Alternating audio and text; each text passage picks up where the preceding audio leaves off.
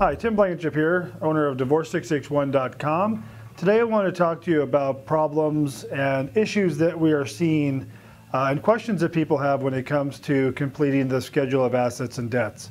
The schedule of assets and debts is one of the forms that you'll be using when completing your preliminary declaration of disclosures. This is the form that will be served along with the income and expense declaration. The schedule of assets and debts is a list of all property that you have. It's property you had prior to marriage, property you had during marriage, and property you have after separation. If you've had a long-term uh, period of separation, there's going to be some property that you've purchased or a bank account, something like that, after separation.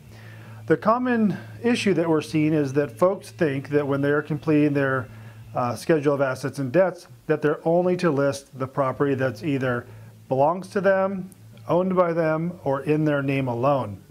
And that's incorrect. The property you list on the schedule of, of assets and debts is going to be all property.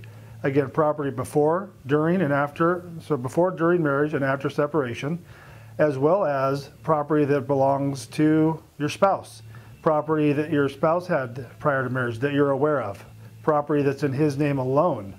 Uh, even the house, if it's in your husband's name alone, let's say, and it was before marriage and it's going to be a separate property, you still list it not only community property, but separate property on the schedule of, of assets and debts.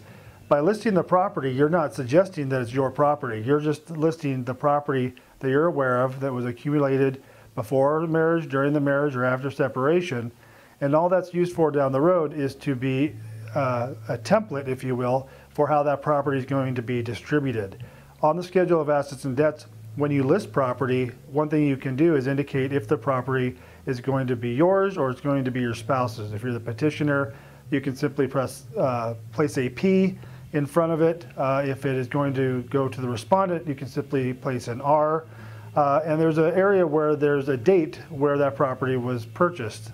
And if it's prior to marriage, just put prior to marriage or after marriage or during separation, and that'll help you determine if it's going to be a community asset or a separate property asset.